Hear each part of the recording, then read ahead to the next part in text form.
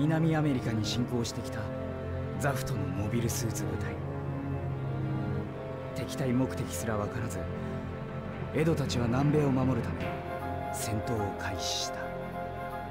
だがそれは地球軍による偽装部隊。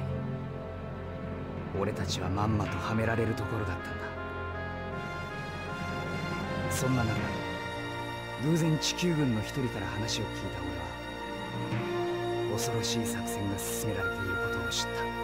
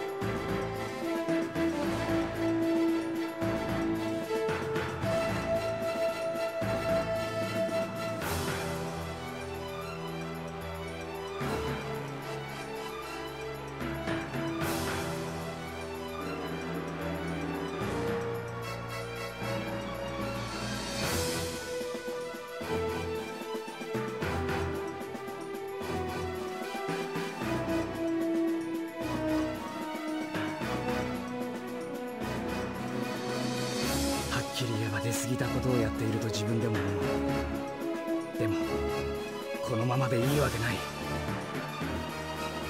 とにかく宇宙に行きこのコードを入れてみれば全てがはっきりする。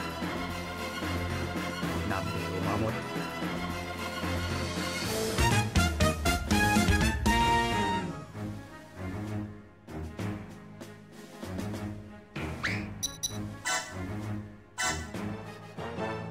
いいか。5つの制御装置全てにガンカメラで暗号コードを入れるということは俺たちがやられようとジェスさえ落とされていなければ南米への破片落下が防げる。頼むぞジェス。